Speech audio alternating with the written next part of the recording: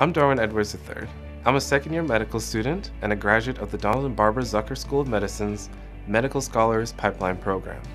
I grew up seeing the disparities in health equity highlighted in myself, my family, friends, and my work.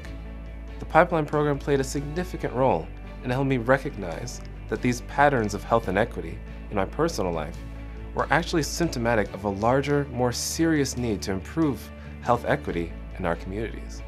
You know, we all want to live better lives. We all want to exist as our best selves. But how do we do this? How can you thrive day to day if you don't have access to health care, if you're struggling with bills, if you can't feed your family with healthy food because you don't have access to it? The short answer to that question is you can't. To achieve health equity, everyone needs to have the ability to live healthy lives.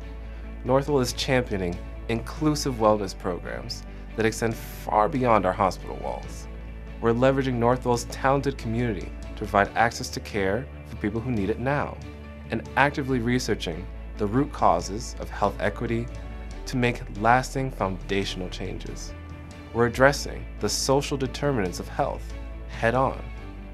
We want everyone to attain a life that they feel is really worth living. And by ensuring health equity never falls flat for us, we're one step closer to realizing the possibility of collective wellness and to living better lives together. With you, it's possible for us to achieve health equity for all people in our communities.